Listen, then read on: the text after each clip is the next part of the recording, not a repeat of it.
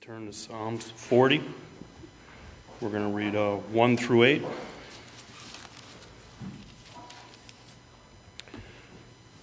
I waited patiently for the Lord. He inclined to me and heard my cry. He drew me up from the pit of destruction, out of the miry bog, and set my feet upon a rock, making my steps secure. He put a new song in my mouth, a song of praise to our God. Many will see and fear and put their trust in the Lord. Blessed is the man who makes the Lord his trust and who does not turn to the proud, to those who go astray after a lie. You have multiplied, O Lord my God, your wondrous deeds and your thoughts towards us. None can compare with you. I will proclaim and tell of them. Yet there are more than can be told. In sacrifice and offering, you have not delighted, but you have given me an open ear. Burnt offerings and sin offering, you have not required. Then I said, Behold, I have come in the scroll of the book, it is written of me. I delight to do your will, O my God. Your law is within my heart.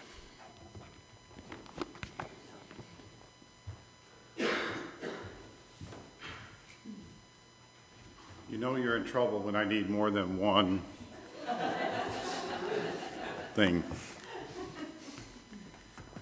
And um, I was warned years ago never to adjust this because it's at Ivan height. So I need Chris height for this. So before we start, let's pray. Uh, Heavenly Father,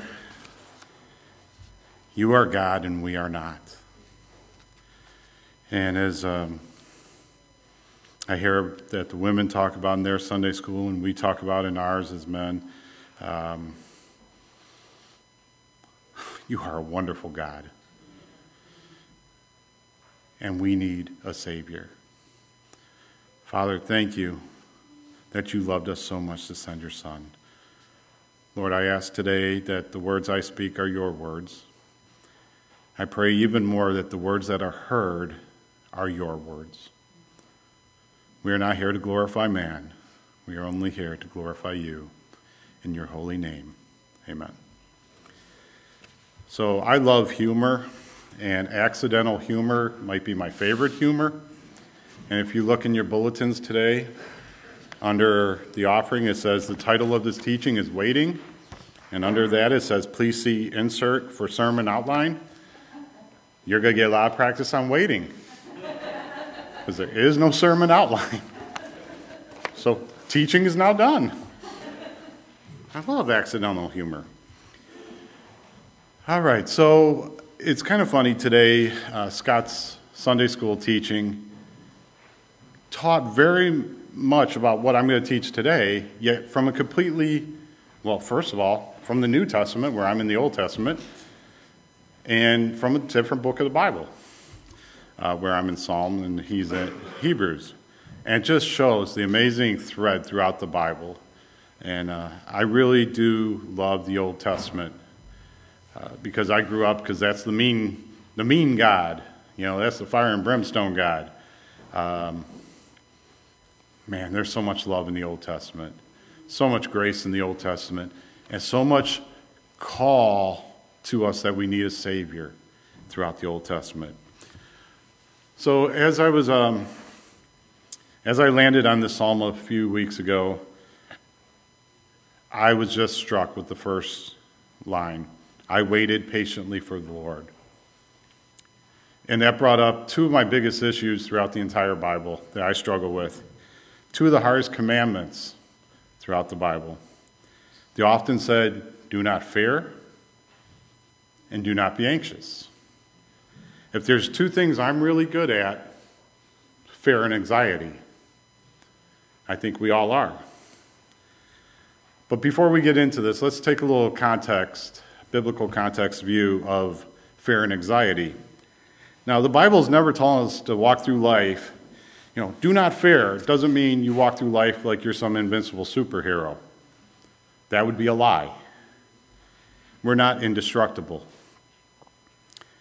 Now, when Jerusalem fell in 70 AD, the Christians were not destroyed because they had fled as Jesus had commanded them to do way back in Matthew 24. As the Roman army advanced on Judea, the Christians didn't huddle up and say, Do not fear, as a way to build themselves up as being invincible against the greatest army in the world at the time. They left to the hills as Jesus had instructed them 37 years prior. Now, Roman armies don't sneak up on you. They're loud and they're walking. Um, but they obeyed what Jesus had said 37 years prior. So when Jerusalem fell in 70 AD, I think it was last numbers I saw, or most recent numbers in my research, was 1.2 million Jews were killed. Nearly zero Christians were killed. They had fled to the hills as they had been told. So, overcoming fear in a biblical way does not involve foolish risk. It involves eternal perspective. Now, in Matthew 10 28, I believe we learn what eternal perspective looks like.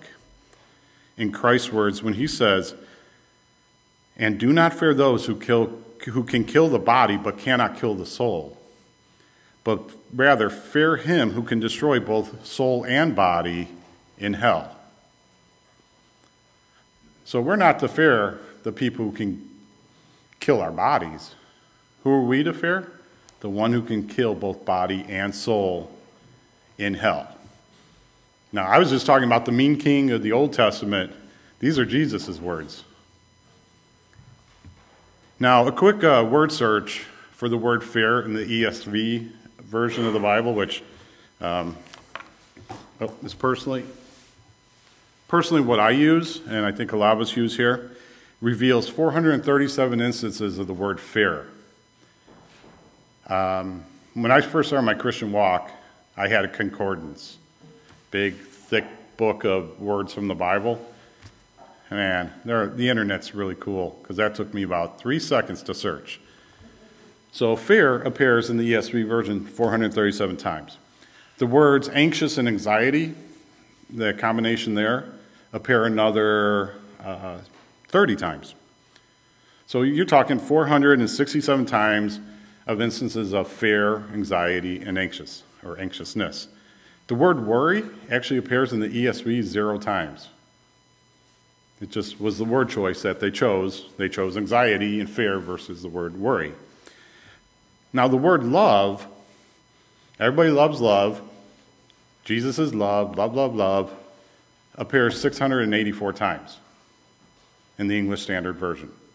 I would have said, you know, like, we have this little rule when we play trivia. There's this part of trivia, a few of us guys here play on Thursday nights. Whatever the question is about numbers, lately we said, okay, whatever we think, times it by 10, because that's how far off we were. Now, this week we were off by like times 40. But I would have thought love would appear two, three, four, five hundred thousand times. I mean, it's hyperbole, but I would have thought a lot more than 684. So when you think of it, every time you see the word love in the Bible, and everybody loves seeing the word love, you will have seen fear, anxious, or anxiety two thirds of the time. So every three times you see love, you see fear twice. It's not a small subject, it's a rather huge subject. But unlike love, which lifts up, misplaced, keying on that word, misplaced fear and anxiety are stumbling blocks that trip us up. Love lifts us up, misplaced fear and anxiety trips us up. Best way that I can describe misplaced fear versus proper fear is thinking back to Matthew uh, 10:28. Misplaced fear is temporal. The ones that could destroy your body, like us, their life is a vapor. They're gone. Gone. Proper fear is eternal. God can destroy both body and soul in hell. Eternal. Misplaced fear happens today, tomorrow, 20 years from now, is temporal. But even knowing this, even knowing this with head knowledge, okay, I know this, but I succumb to fear and anxiety. I succumb to worry. I break down because of the things that are up here, even though I know they're temporal. So there must be an answer. And this is why I hate, I'll just say, I hate these commands of do not fear because I don't know how to do it. But I think there is an answer. But thinking about these things made me kind of curious, and, and I love lists. Um, forgot what Tonight Show guy had list, or maybe it was Letterman. I don't know. But I found a list of fears, 100 fears, which I am not going to break them all out now. But I do uh, want to touch on some because I thought they were kind of interesting. The number one fear arachnophobia. Fear of spiders, right? I heard an amen. Um, number three, acrophobia. Fear, yeah, Jeff knew that one, fear of heights. And I, I would argue with that. It's more of a fear of a landing, but I'm not going to split hairs. Agoraphobia, the fear of open or crowded spaces. Well, that's just spaces. So open or it's crowded, but agoraphobia. Um, I guess that's what I would have because I don't like crowds. Crowds are random. Crowds, I can't control. I can't escape. I'm not, not a crowd guy. Claustrophobia, fear of small spaces. Mesophobia, this one I thought was interesting. Thinking of Howard Hughes. He had mesophobia, fear of germs. Carcinophobia, pretty straightforward, the fear of cancer. And as Holly and I were talking about that, who doesn't have the fear of cancer? These next two I found completely humorous because first one my grandmother has. I thought she's cuckoo for Cocoa Puffs, but she does have this. Ornithophobia, the fear of birds. The bird, birds, come on. And I'm talking parakeet all the way up to vulture. But what I found in this list that was so awesome was the next one Electorophobia, the fear of chickens. so somewhere in this list, they went, bird? No, no, let's refine. It's not just birds I'm afraid of, I'm afraid of chickens. And I hate to tell you, I ain't afraid of my food, so. Um, chickens, cows, no fear at all. This one I swore had to be made up, but it's not.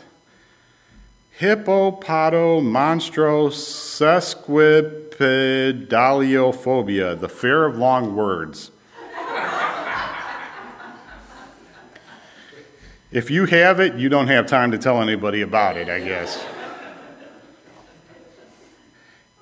Number 31 on the top 100 list of things to be afraid of. That was number 26, fear of long words. Number 31, theophobia, The fear of God. If this list is accurate, people are wasting a whole lot of time before they get to the fear of God. And that kind of broke my heart, as did number 88. Coulrophobia. It kind of hurts me a little bit that this one's all the way at 88 personally, where it should be number one. Uh, I'll say number two fear of God, number one. Fear two, the, the fear of clowns. Um, clowns have never been funny, never will be funny. They are the stuff of nightmares. But there were a hundred things on this list. People have a lot of time to be afraid. And there was only one thing on this list that was valid the fear of God. So we talk about, or I'm talking about all this fear and anxiety, and the word fear and anxiety and anxious was nowhere in our scripture reading. The reason is because I believe the answer, the solution, the application is to be found in waiting upon the Lord. So that's really the theme of today's teaching. is waiting upon the Lord is active obedience performed out of delight and pleasure. And in, in that act of obedience to the Lord, we learn not to fear the challenging circumstances that we find ourselves in.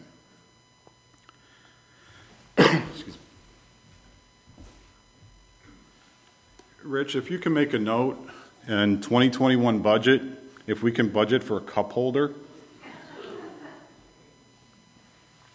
It's the only thing we don't have up here.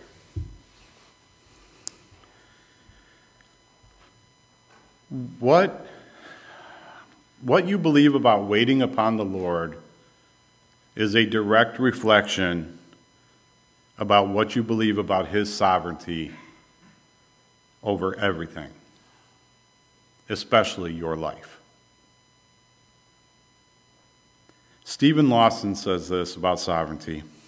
The sovereignty of God is not a secondary doctrine that is relegated to an obscure corner of the Bible. Rather, this truth is the very bedrock doctrine of all Scripture. This is the Mount Everest of biblical teaching, the towering truth that transcends all theology.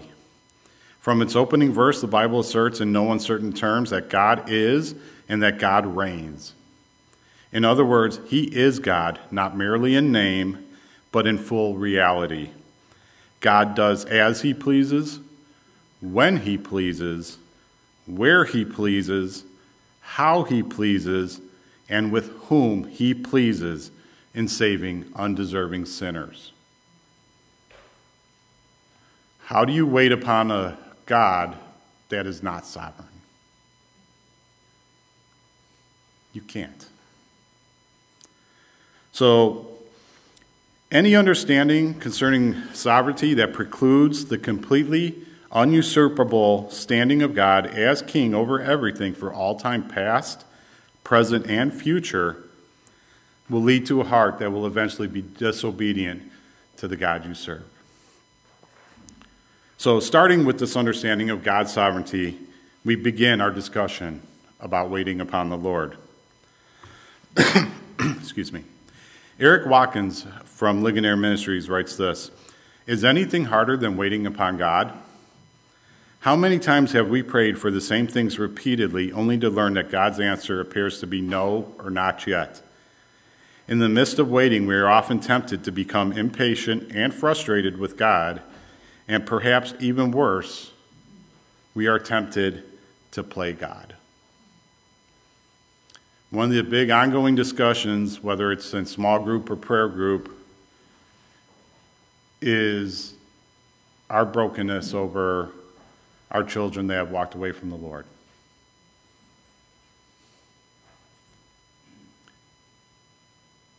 There is only one that can fix that. And he listens. He listens to his children, being us. But what happens when you go try to fix it? No one has ever been nagged into heaven, but they've been nagged right to hell. So, waiting upon the Lord, uh, the Hebrew word in this case, kavah, means to wait, to look for, with hope and expectation. So let's be clear. When the Lord says wait, He doesn't mean put your hands under your keister and just stay there. This isn't mom trying to renew her license at the DMV. You wait. Don't move, don't breathe, don't look, don't do nothing. Wait. No, this isn't that. This is active obedience. So, what does Christian waiting look like? Should we just be standing around doing nothing? Hey, we need help over. Nah, I'm waiting upon the Lord. I have this problem in my life. I'll just wait. I promise you something will happen. No. In our text, we read the psalmist state, I waited patiently.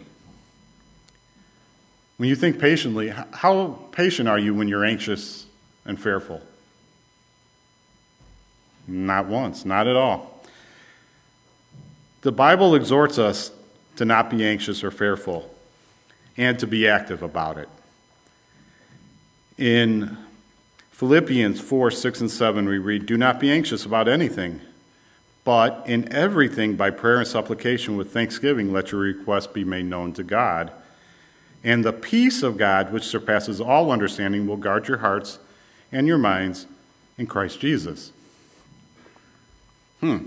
So we're going to pray and we're going to be thankful. Isaiah 41:10 Fear not, for I am with you. Be not dismayed, for I am your God. I will strengthen you. I will help you. I will uphold you in my righteous right hand.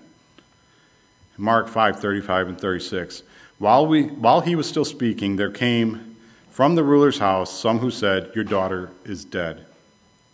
Why trouble the teacher any further? But overhearing what they said, Jesus said to the ruler of the synagogue, Do not fear, only believe.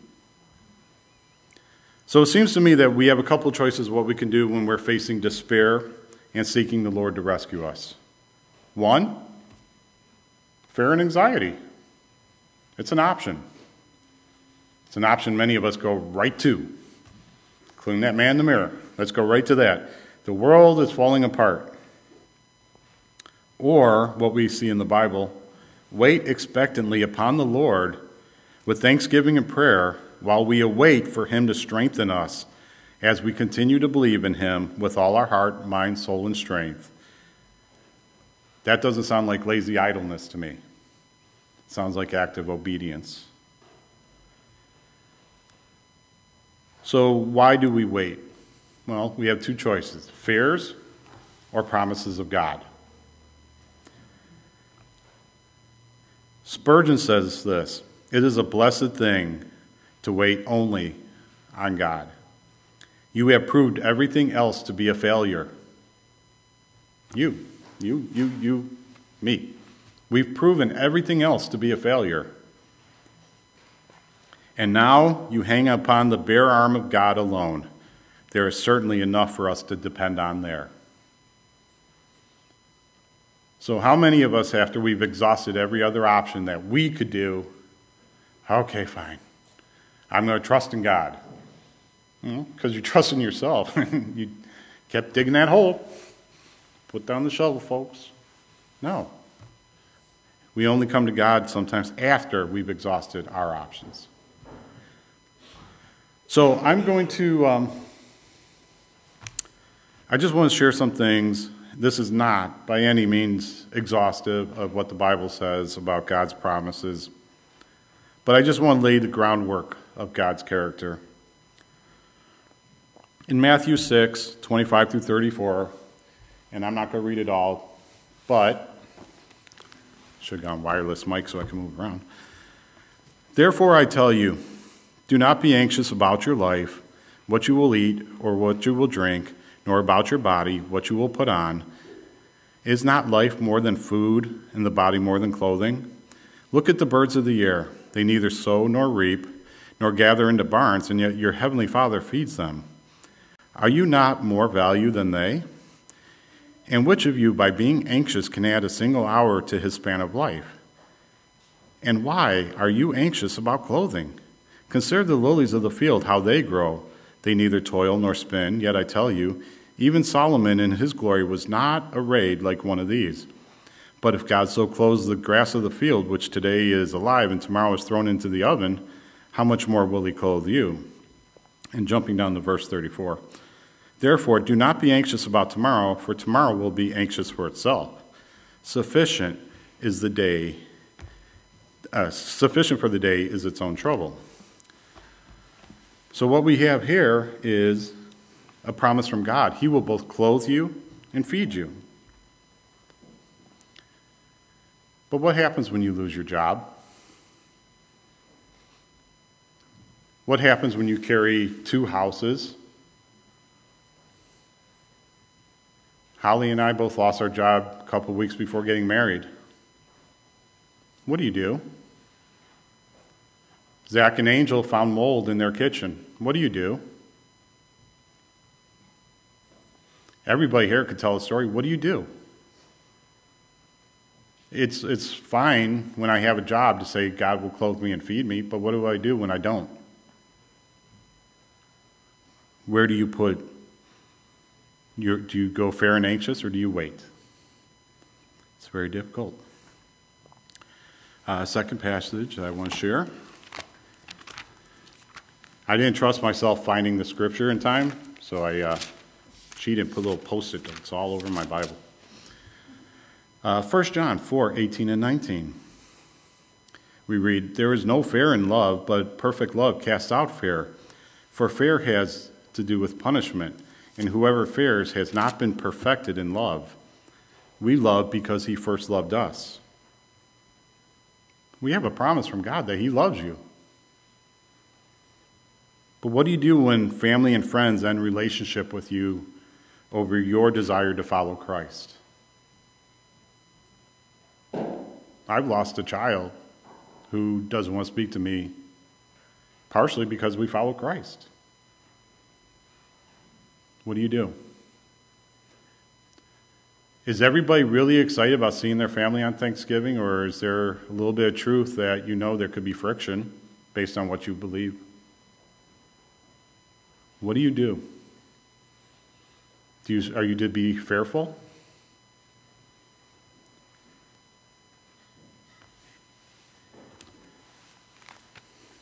In 1 Peter 3 14 through 16, we see, But even if you should suffer for righteousness' sake, you will be blessed.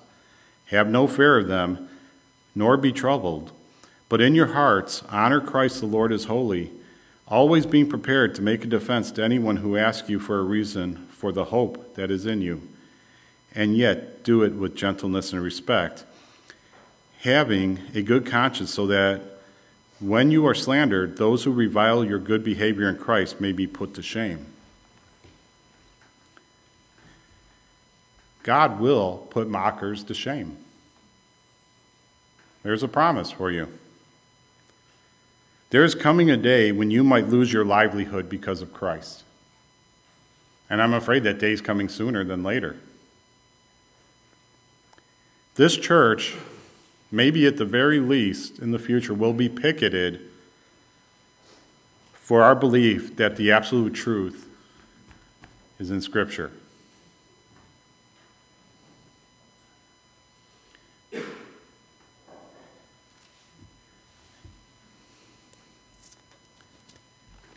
In Isaiah 35 4, we see, Say to those who have an anxious heart, Be strong and fear not. Behold, your God will come with vengeance. With the recompense of God, he will come and save you. Bible says, Do not have an anxious heart. Your God will avenge you. Yet today we have missionaries all over the world who will be killed for the name of Christ. According to Open Doors, it estimates that Christians are martyred on average of 11 per day. On average, today, 11 of your brothers and sisters will be killed because of Christ. I don't think we could be any further away from that reality than in the middle of Illinois, in the middle of the United States but 11 of your family, your eternal family, will be killed today. Three to 4,000 per year will be killed because of our Savior. But what does God promise? They will be avenged. Not by you, not by me, by Him. I might want to avenge, but I bet he's way better at doing it.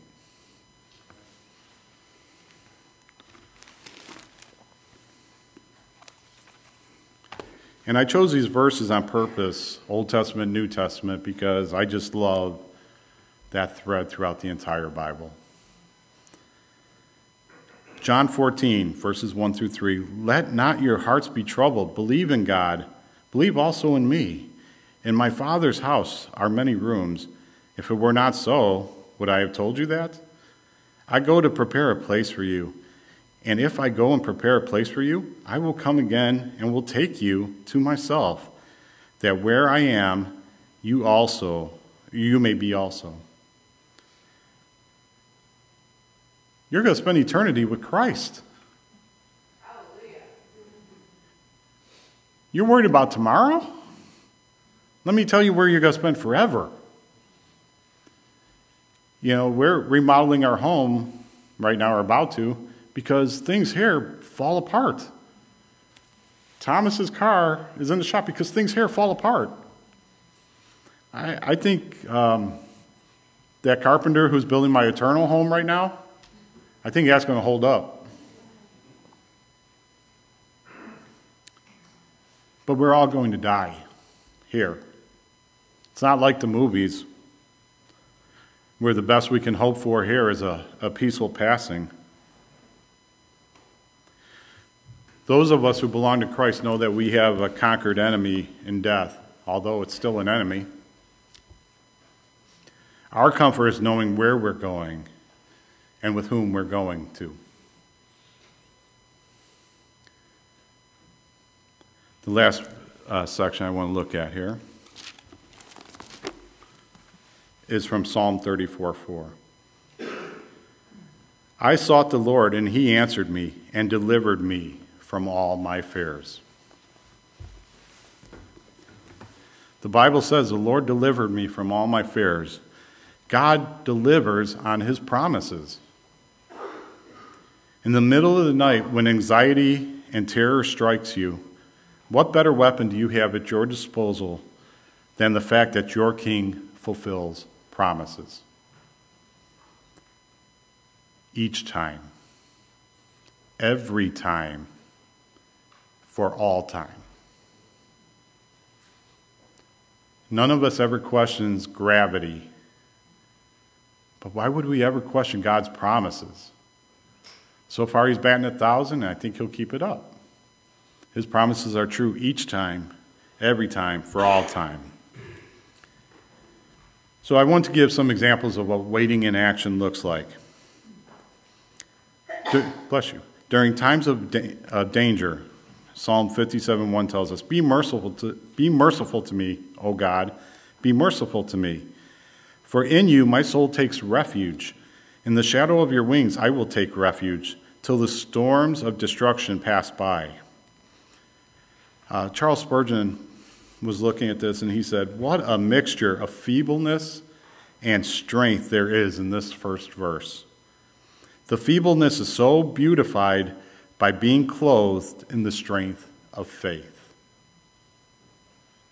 I'm not standing here saying, I'm Captain America, I can handle it. No.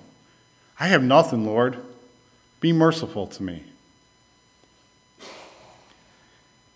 Spurgeon says, If you cannot see the brightness, if I cannot see the brightness of your face, the shadow of your wings will be enough for me.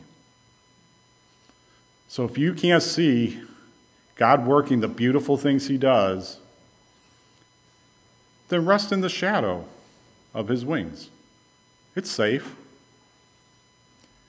I was sharing something with Holly this morning, um, or last night, I don't know. Uh, but I was just looking back in my life, and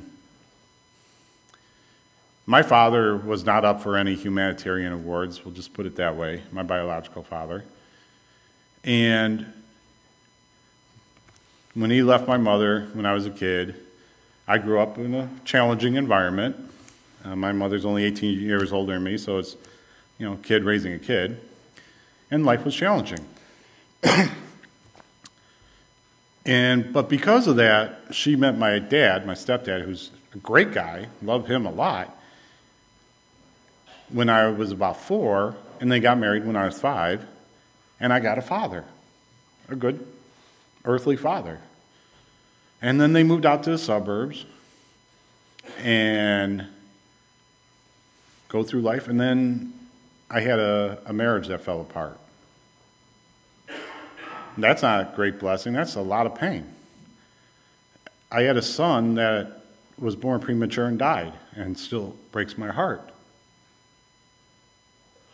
But because of that, my marriage falling apart, which is not honoring to God in any way, I end up moving to the north side of Chicago where I met Holly a couple years ago, or a couple years later. We got married and we moved out to here to be closer to my boys. But because we moved out to here to be closer to my boys, my daughter met her future husband working at Panera. And now, when I see my grandson on Wednesday, that couldn't happen if my father wasn't a dirtbag. God knew this. I did not know this. So if I can't see the glory of his face, I'm going to rest in the shadow of his wings because I've seen what he does, even if I can't see the end game of how beautiful it is. It takes a lot of dirt to raise food, don't it? What about during times of persecution? I have written down here Rack, Shack, and Benny because I learned my Old Testament from Veggie Tales. Loved Veggie Tales when my kids were little. But in Daniel 3:14, Nebuchadnezzar answered and said to them, Is it true, O Shadrach, Meshach, and Abednego, that you do not serve my gods or worship the golden image that I have set up? Have we started to hear this in life? What happens when you don't worship what the government tells you to, or what the news or media or peer pressure tells you to? How much more are we going to see it? It's not going to slow down. And Daniel 3:15, second part of that. But if you do not worship, you shall be immediately be cast into a burning fiery furnace. And who is the God who will deliver you out of my hands? Huh. So we're about to see what waiting looks like in the face of persecution. Shadrach, Meshach, and Abednego answered and said to the king, O Nebuchadnezzar, we have no need to answer you in that matter or in this matter. This is a verse I really got to learn to take to heart. When the world's telling you who's going to save you, I don't need to answer you anything. Why aren't you doing this? I don't really need to answer that. But here, We'll just go ahead and say this.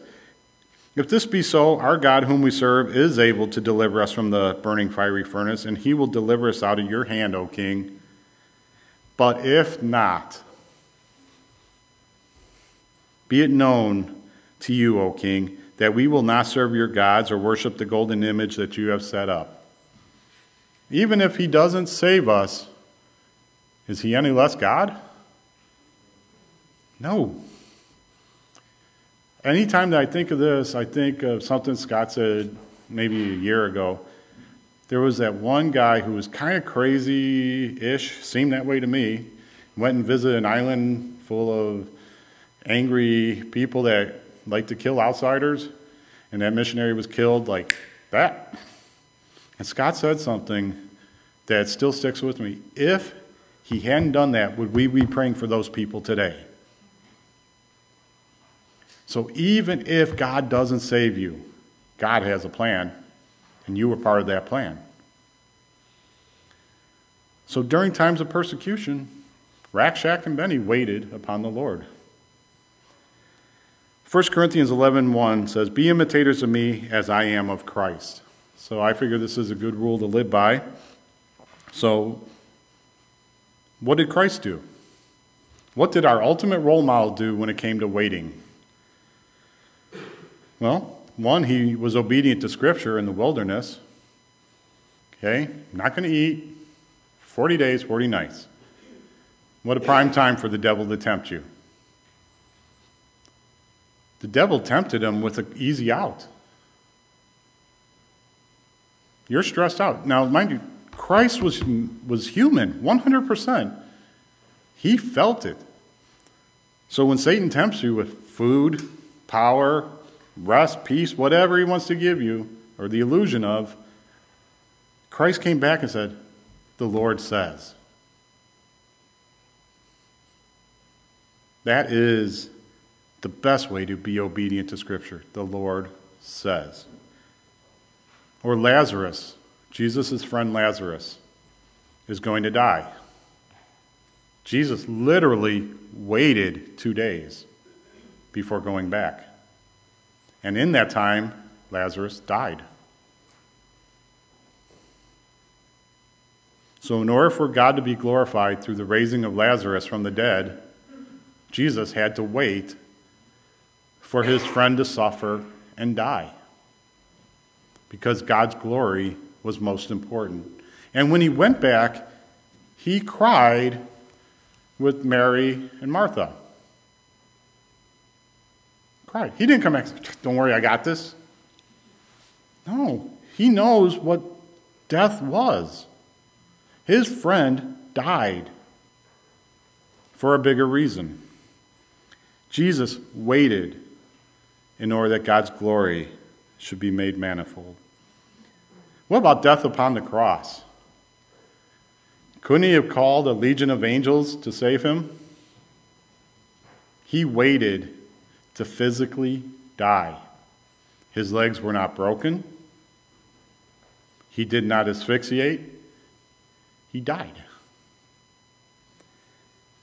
And then that man in the mirror, me, you, Jesus waits on us every single minute of every single day because we are being sanctified, being made more like Him, and just doesn't happen overnight.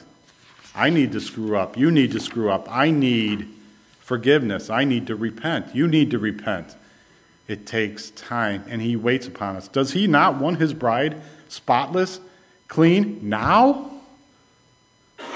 Probably but yet he waits. Or the ultimate waiting, Matthew 26. When Jesus went with them to a place called Gethsemane, and he said to his disciples, Sit here while I go over there and pray. And taking with him Peter and the two sons of Zebedee, he began to be sorrowful and troubled. Then he said to them, My soul is very sorrowful, even to death. Remain here and watch with me. And going a little farther, he fell on his face and prayed, saying, My Father, if it be possible, let this cup pass from me. Nevertheless, not as I will, but as you will. And he came to the disciples and found them sleeping. And he said to Peter, So could you not watch over me one hour? Watch and pray that you may not enter into temptation. The spirit indeed is willing, but the flesh is weak. Again, for the second time, he went away and prayed, My father, if this cannot pass until I drink it, your will be done. And again he came and found them sleeping, for their eyes were heavy. So leaving them again, he went away and prayed for the third time, saying the words again, the same words again. Then he came to the disciples and said to them, Sleep and take your rest later on. See, the hour is at hand, and the Son of Man is betrayed into the hands of sinners. Rise, let us be going. See, my betrayer is at hand. Jesus knew what death was going to be, and was not going to be pretty. And he went to his father, and if it be your will, Father, let this pass from me. No. Went back to his father again. If it be your will, let this pass from me. It's not a hint, this is a request. No. One more time, Father, let this pass from me if it be your will? No.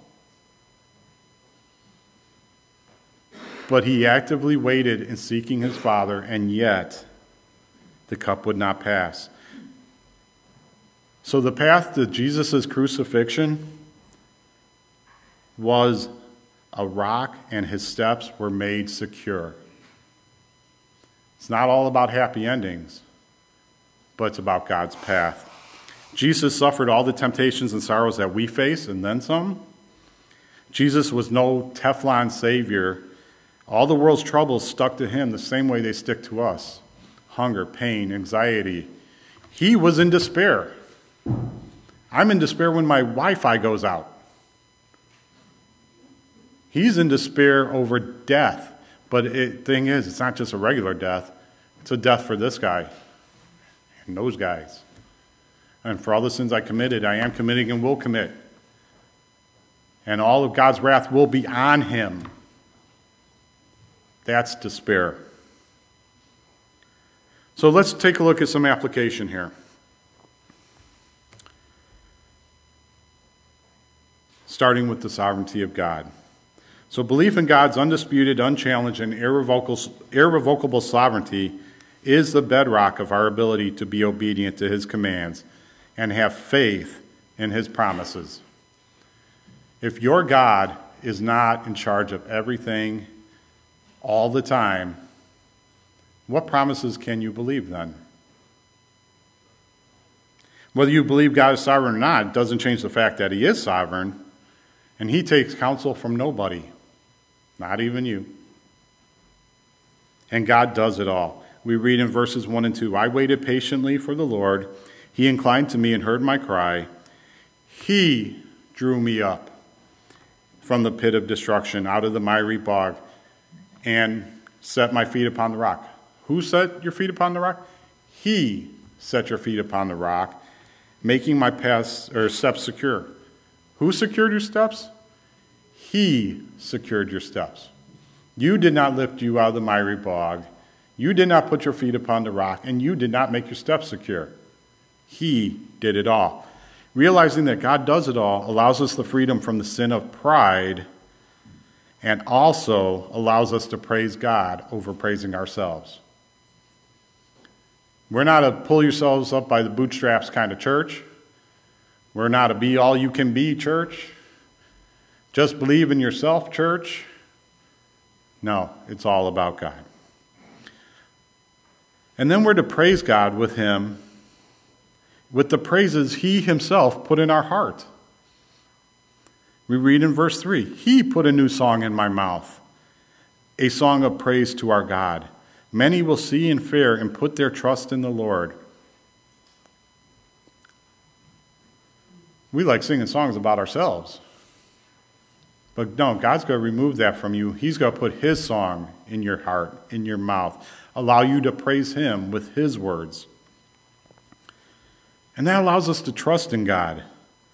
You know, reading your Bible and noting God's fulfilled promises. God does not back out of his commitments regardless of the people he's committed to. God doesn't break covenants, man does. The answers do not lie in the world of flesh. We believe that he will fulfill the promises.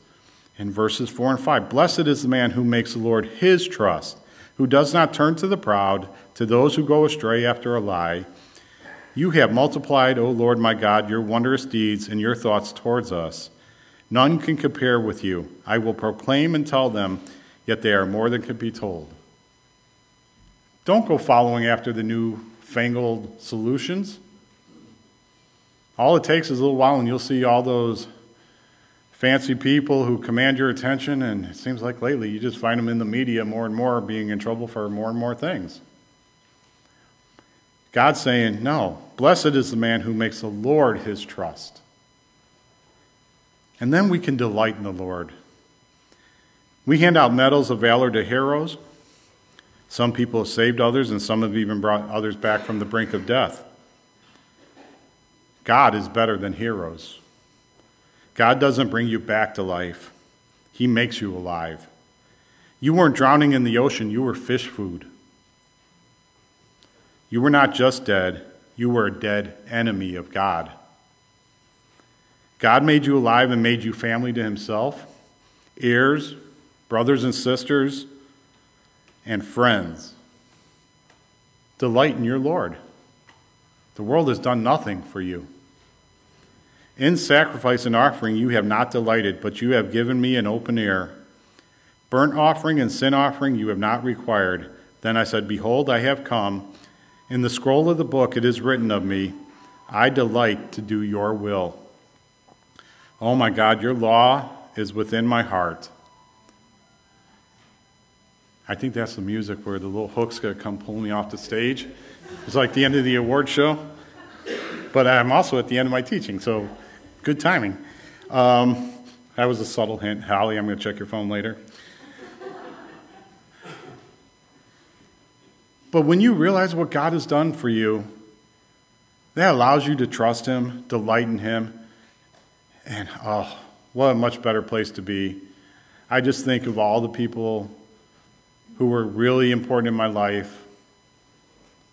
All of them, like me, have made mistakes. All of them, like me, have let me down. But God hasn't let me down. Not once. Not once. So as we close today, I want to read a passage from Isaiah 40, because I, I think this leaves two questions unanswered.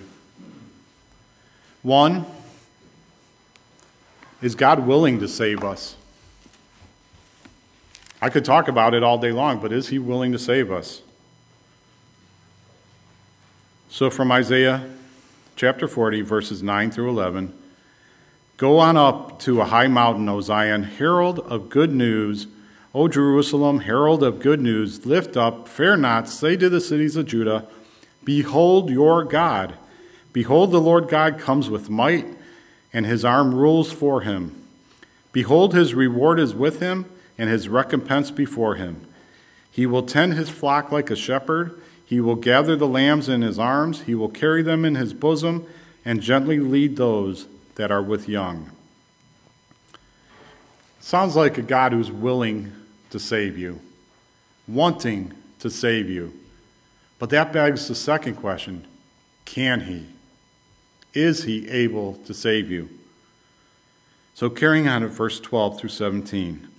Who has measured the waters in the hollow of his hand, and marked off the heavens with a span, enclosed the dust of the earth in a measure, and weighed the mountains in scales, and the hills in a balance?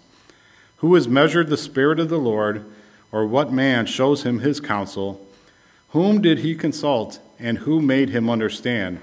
Who taught him the path of justice, and taught him knowledge, and showed him the way of understanding? Behold, the nations are like a drop from the bucket, a drop in a bucket, and are accounted as dust on the scales. Behold, he takes up the coastlands like fine dust. Lebanon would not suffice for fuel, nor are its beasts enough for a burnt offering. All the nations are nothing before him. They are counted by him as less than nothing and emptiness.